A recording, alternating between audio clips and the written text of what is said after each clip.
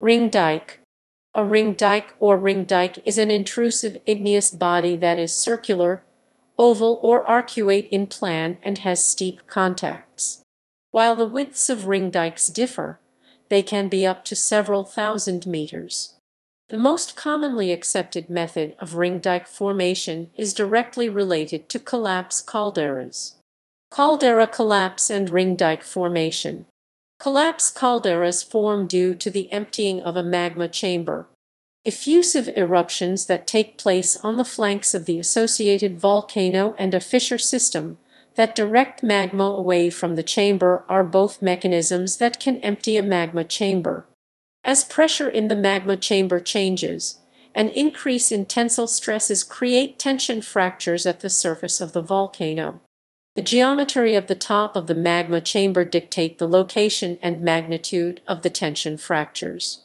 In addition, it was found that the higher the radius to depth ratio of the magma chamber, the higher the probability of forming a collapse caldera. Once a tension threshold is approached, the roof of the magma chamber collapses in on itself and is known as cauldron subsidence. Tension fractures extend deeper in the profile and shear fractures or dip-slip faults form in a circular pattern around the caldera and are known as ring faults. Ring faults can be either vertical or steeply dipping faults. When they are inward dipping, they are known as normal faults and when they are outward dipping they are known as reverse faults. Ring faults then allow magma to rise through the fractures, forming a ring dike. These dikes can form as a direct result of collapse caldera formation or through many injections around the ring fault over time. The magma of a ring dike is typically composed of acidic or intermediate composition due to the less dense melt that exists at the top of the magma chamber.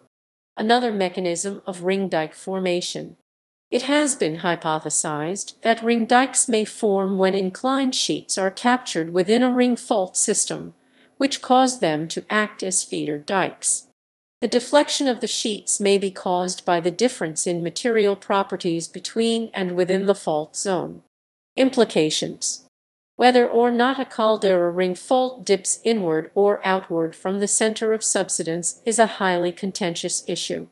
Ring faults near the surface are subject to erosion and mass wasting, changing the morphology of the caldera walls and making it difficult to tell the dip of the fault at formation. Well-known examples. Ossipee Ring Dike Complex. About 36 ring dikes have been found in the Ossipee Mountains in New Hampshire. Caldera subsidence appears to be the mechanism leading to the formation of some of the ring dikes, but not all of them. The composition ranges from monzonite to quartz-syenite. Lochbaugh Ring Dike The Loch Ba Ring Dike, found on the Isle of Mull in Scotland, serves as a classic example of a well-formed ring dike.